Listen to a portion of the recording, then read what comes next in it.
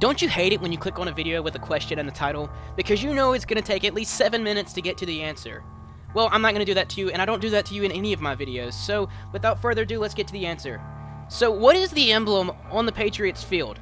The emblem on the Patriots field is basically the logo of Gillette Stadium, which is the venue that the Patriots play on.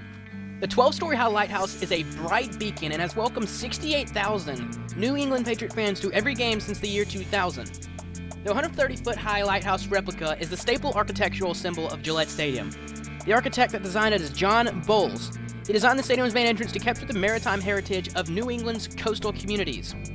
When at a field level, a coastal seawall was constructed using sculpted rock formations around the base of the lighthouse. The logo consists of a lighthouse and a bridge, which are actually both located in the north end zone of the Patriots field. The postmodern lighthouse is a skeletal steel representation of the traditional lighthouses along the New England coastline. During the night games, the lighthouse was planned to exhibit a vertical beam of light two miles into the sky after each score. Currently, the lighthouse is functioning and does this after each score. A replica arched bridge was designed to resemble Boston's famous Longfellow Bridge and transverse next to the lighthouse over the main entrance to give fans a unique perspective of the game. The bridge can also be seen in the logo of Gillette Stadium. So I hope you enjoyed that brief history lesson. Unfortunately, that does conclude the video, but before you go, I'm giving away a brand new copy of Madden 18.